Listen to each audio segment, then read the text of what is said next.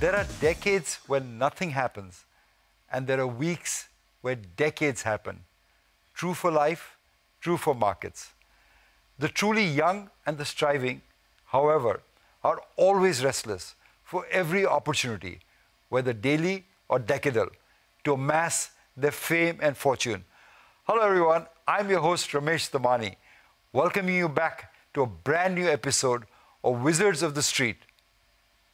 With grit, imagination, and a drumful of daring, my guest overcame his modest roots and transformed himself from a programmer to a player in the capital markets, all within 20 years. Still young and at 50, and in his first TV appearance, let's hear his inspiring story. Please help me welcome Director at Ohm Securities, Amal Parikh. Amal, welcome to the Wizards. Thank you so much, Rameshji. It's a pleasure to have you finally, uh, Amal, on the show. Amal, we're in 2023. Let me take you back to 1989. Where were you and what was your first job?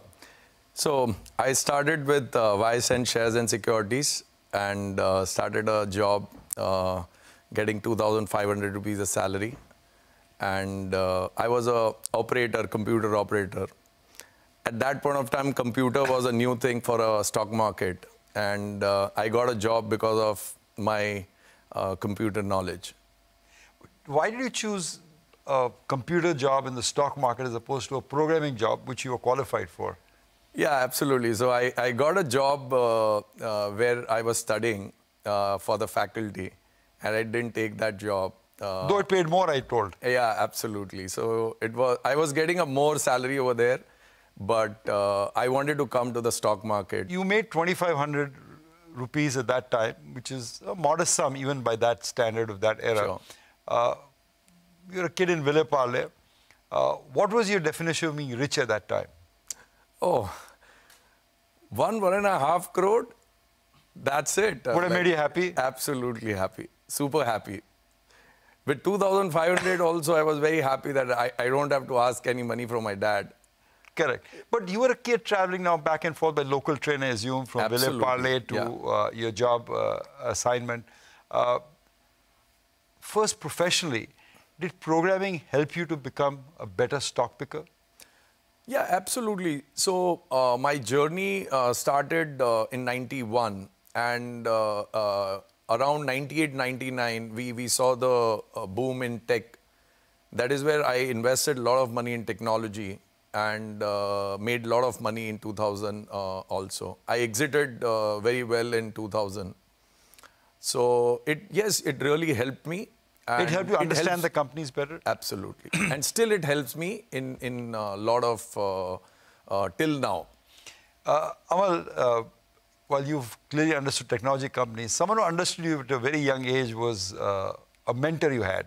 Tell me who he was and how did he influence you?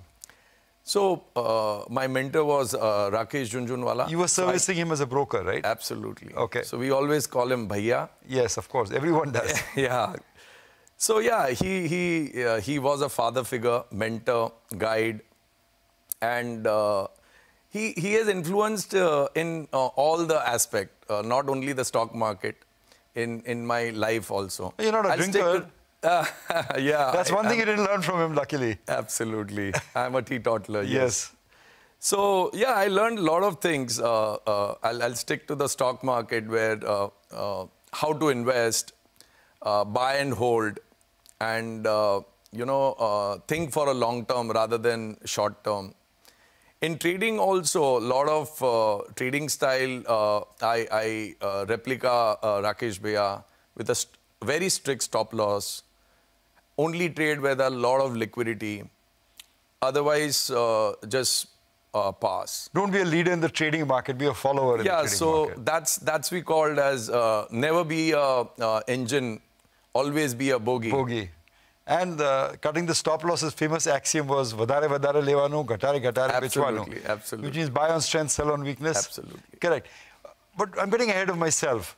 Uh, Rakesh influenced you for the course of your career. Uh, but the first stock that uh, magnified your income and made you perhaps more wealthy than you were was Visual Soft. Tell me the story of Visual. So uh, VisualSoft was a devolved issue, and uh, uh, I I showed the company to Rakesh Bhaiya, and uh, we liked the company. So uh, first Bhaiya invested, and along with him, I also invested uh, in a company. Quarter on quarter, they were doing uh, fantastic. Obviously, it was a tech boom. In the end, uh, they were they were trying to make some uh, black box uh, for the car, Correct. uh, and they were never successful in that. But uh, yeah, for me, the journey was uh, great, uh, and I exited uh, also on time. So you bought it at 50, 100 rupees, which it was probably uh, around listing time, and you sold it at what price for the record? So I sold between 800 to 1200 some, and After then I times your money. Yeah. yes, and then I sold at 8,000 rupees. Took the entire ride through. Absolutely. And did Rakesh, uh, you followed Rakesh in that? No, no, no. I don't think so. Uh, I don't know when he sold, but he he was uh, like he exited quite early.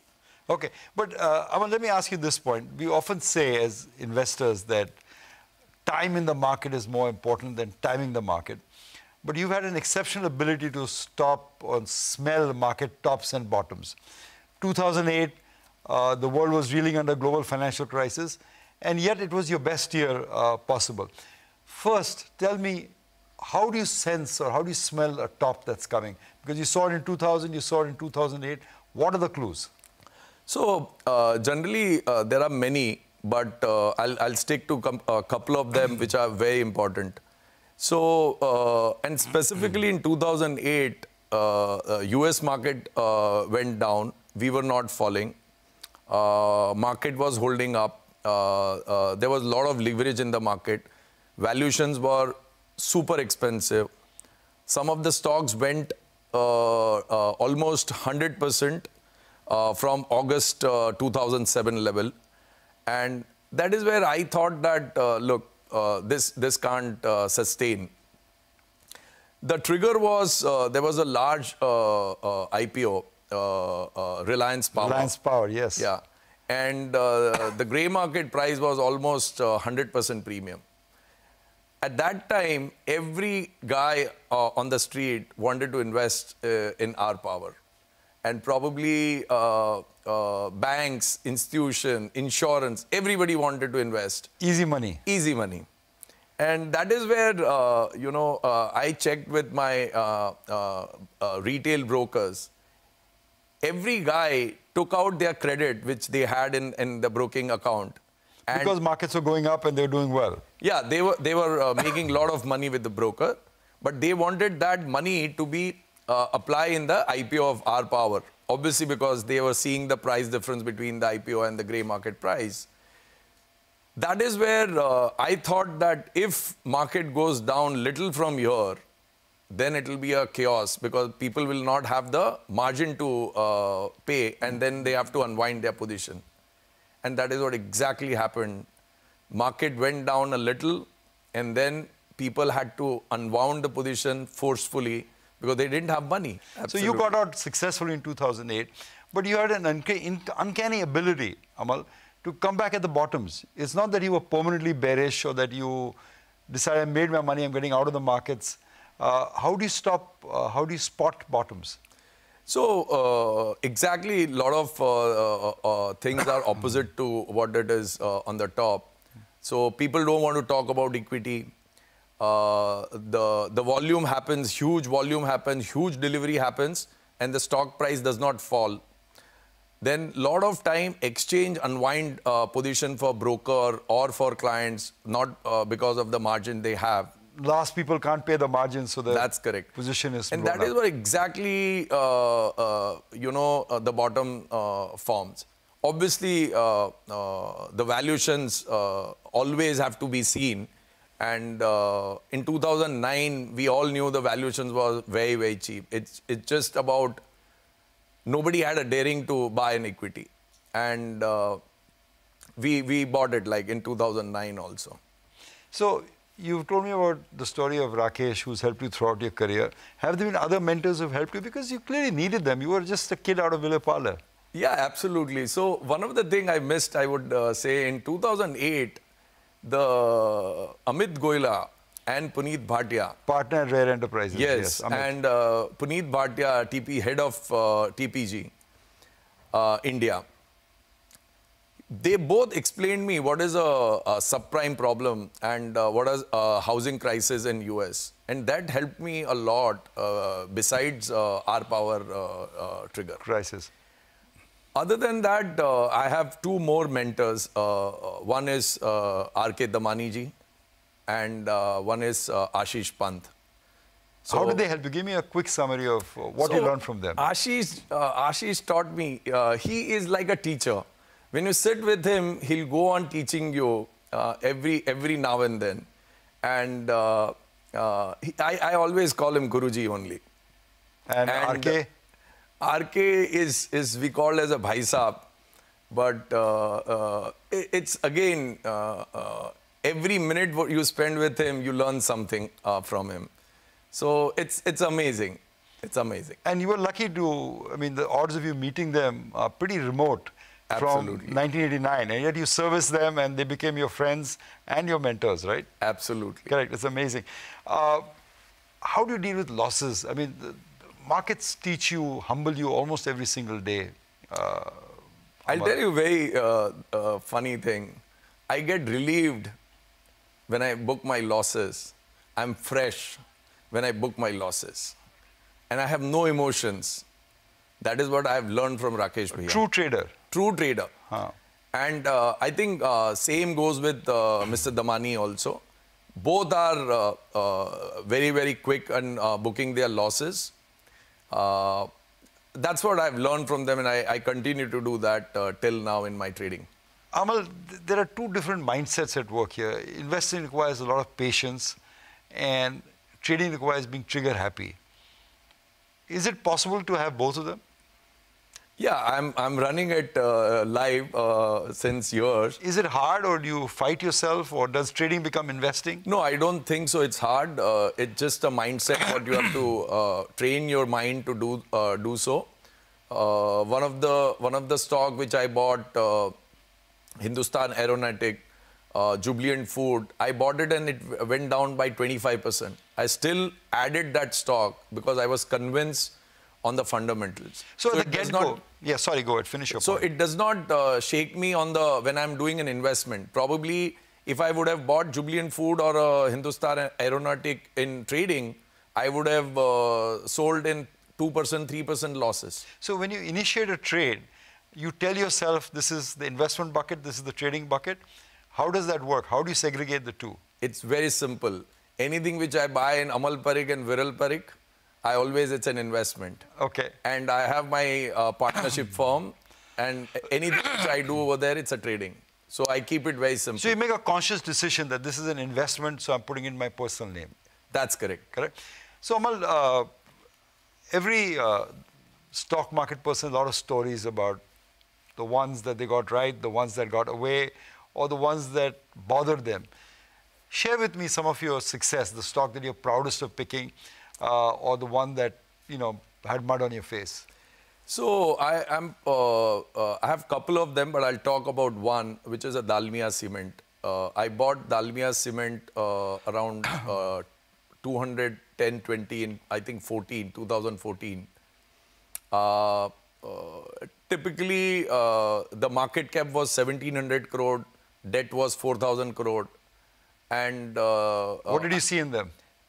It's, it's just that uh, the visibility of uh, EBITDA, uh, I, could see like 400 to 500 crores of an EBITDA per annum.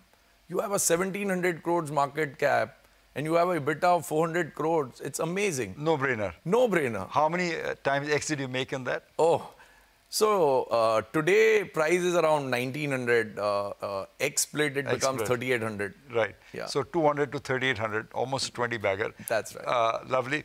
Uh, Amal, what we'll do is uh, we go bankrupt if you don't take commercial breaks. We'll take a break, Sure. come back, and then we'll ask you about your more painful losses also in the stock Sure, market. sure. Let's take a break, come back and chat some more with Amal Parikh of Ohm Securities. In the Dead Poets Society, Robin Williams whispers. If you listen real close, you can hear them whisper their legacy to you. Go on, lean in, listen. You hear it.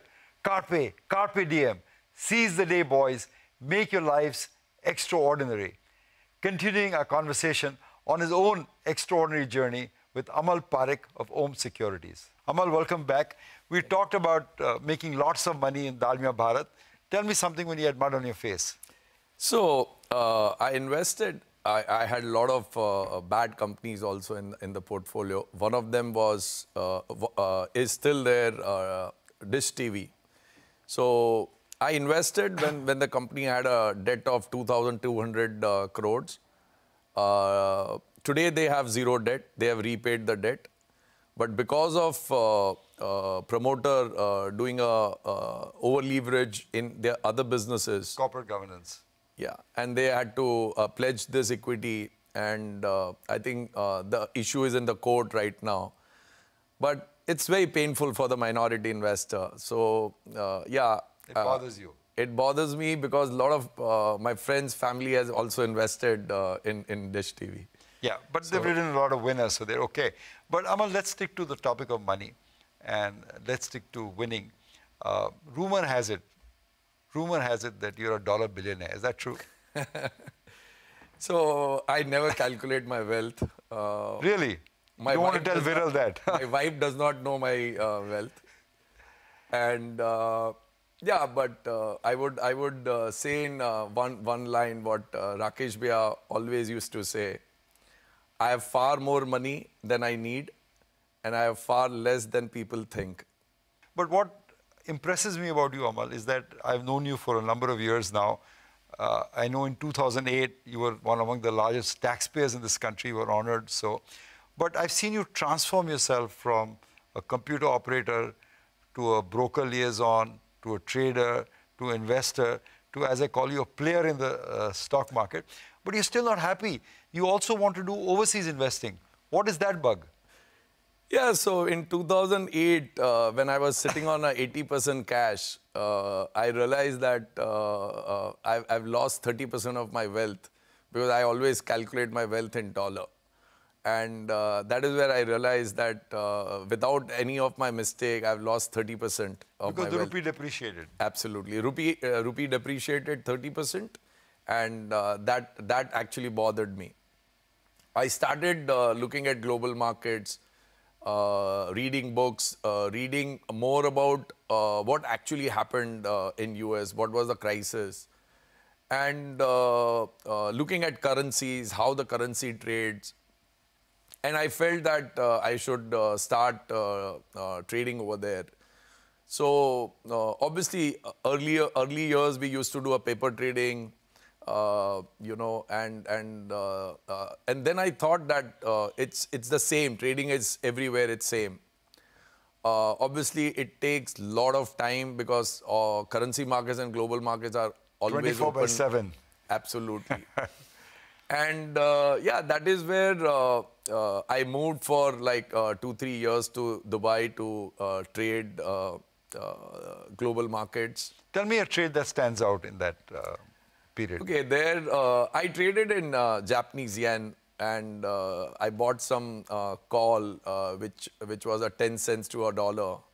Pretty much what they did in the global financial crisis, John Paulson buying these out of the money uh, yeah put options. Absolutely. Uh, I bought a call options uh, on on uh, uh dollar yen, and it on went, saying what the dollar would uh, yen would go up. So yen will depreciate. Yen will depreciate. Yes. Okay. And uh, typically it depreciated a lot, and my 10 cents went up to 20 bucks. I sold it around 17 bucks. Amal, you're 50. You've already accomplished a lot. What's in it for the next 10 years for you? What, what are you looking forward to? What wakes you up at night?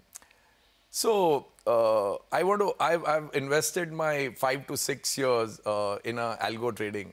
Uh, uh some of the some of the strategies are always already live, and uh, I want to be a great algo trader.